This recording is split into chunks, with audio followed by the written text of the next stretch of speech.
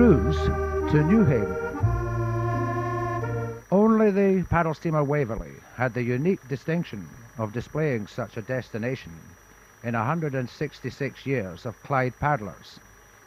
And so it was on Saturday, the 15th of April, we set sail down the Clyde, past the repair basins and the long deserted slipways of her builders, A.J. Inglis and Company, wherein beside the river stands a notice which ought to read, Dead slow for 1100 years.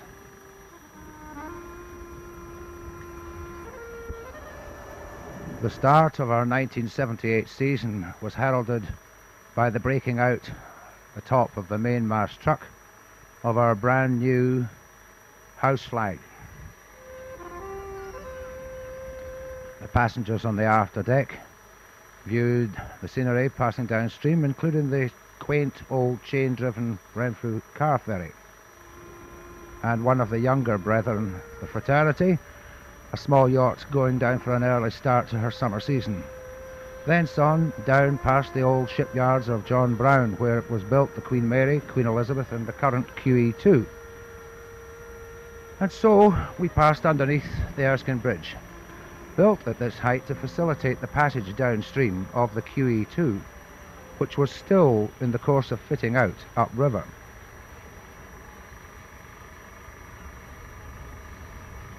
Probably no other ship of its size will ever pass down this way again.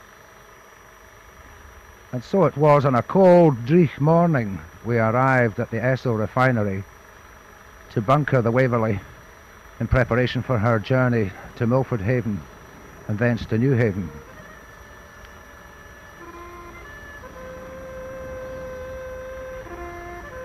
Ian Muir came on board just in time to take part in boat drill.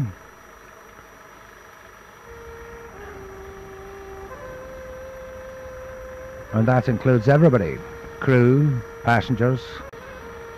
Quick check with the dipstick revealed that all was well. While ashore, some of our keen Paddle Steamer Preservation Society members had come down to wish us bon voyage. Yes, Patty, it really does read cruise to Newhaven. Jealousy will get you nowhere. Dis- resplendent in her new coat of paint, you can see the steel protective plates put over the forward windows to protect the glass should we encounter inclement weather on the way down. And so we cast off and proceed down the Clyde non-stop to Milford Haven. On what is, for the Waverley, a very unique trip for herself and her passengers.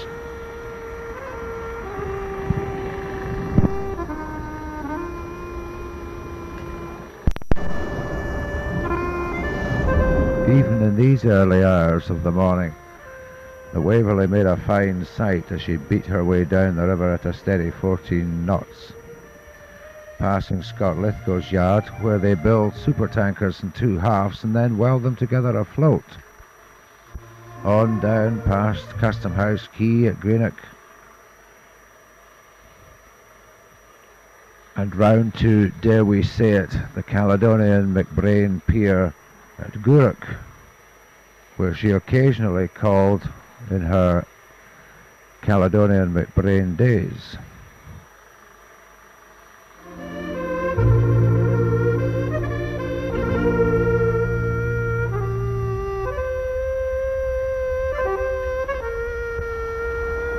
Now we came round to the famous Cloch Lighthouse, which signifies the end of the river and the start of the estuary. And as she pointed her bows round the corner, the Firth of Clyde opened up before her.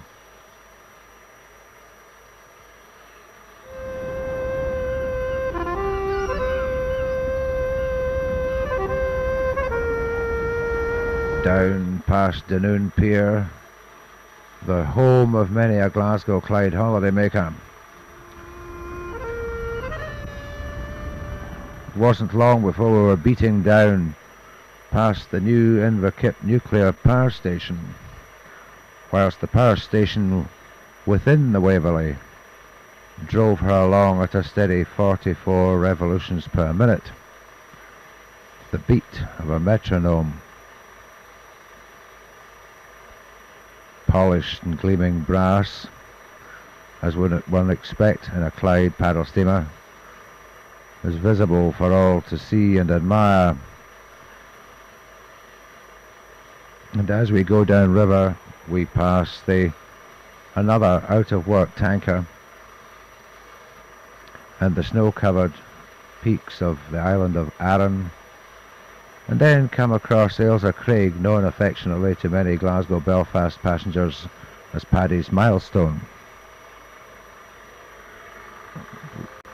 We sailed through the Irish Sea in calm conditions all night, and the following morning came round St David's Head and across St David's Bay to pick up the Milford Haven pilot.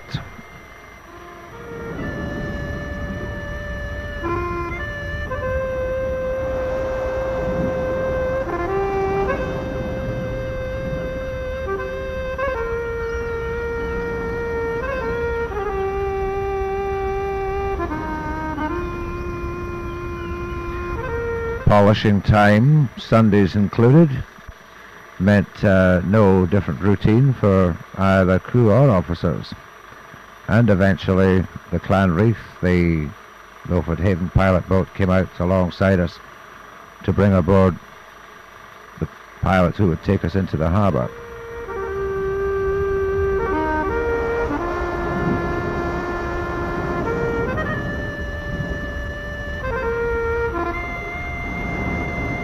Borodati Taffy Boy.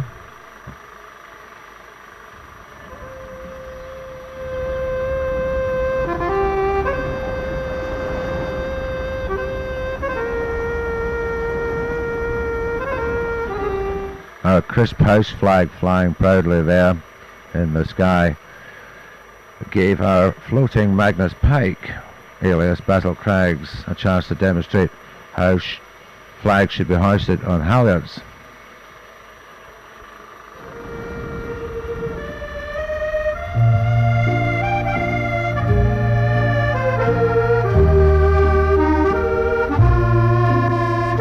Into Milford Haven, we were surprised to see a 300,000 ton tanker called the Andros Titan being removed from the dock.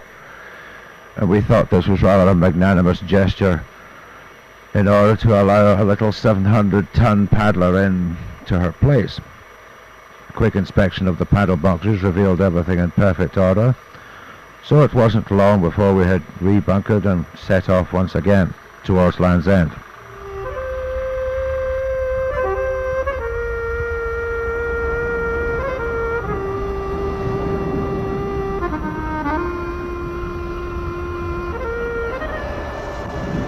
Suitably fed on the Sunday lunch, a beautiful Sunday lunch I might add of roast Norfolk turkey.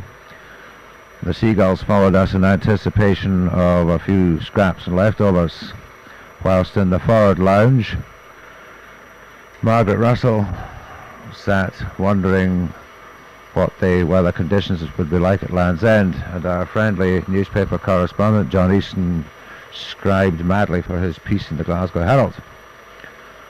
Would the weather conditions be like this at Land's End? We hoped not. We needn't have worried because as we went round the longships and the Knight of Armour, this was the conditions that prevailed. Up on the bridge, our very keen Paddle Steamer Preservation Society member helmed the ship for quite long periods in various watches, complete with his Waverley Lum, or his red white and black funnel, which also attracted the attention of HMS Jupiter, which sent out a helicopter to investigate this quaint two-funneled ship. Closer inspection revealed that this quaint two-funneled ship was also driven by paddles, which excited this little helicopter so much that he went back and came back, went and came back for a second look at us. Much to the delight of the passengers who produced cameras in great profusion. Whilst inside the bridge, John Brown, our Liverpool pilot who had come and taken five days leave and come on board to have the privilege of coming round Land's End with the Waverley,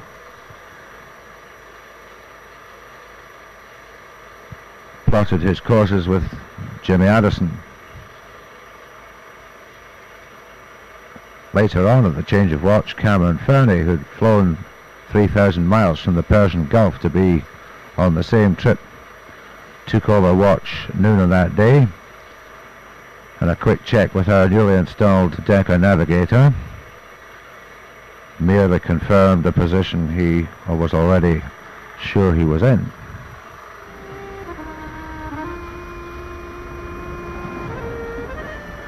Good weather up the English Channel allowed us to take the steel plates out that protected the dining saloon and hang up a new house flag.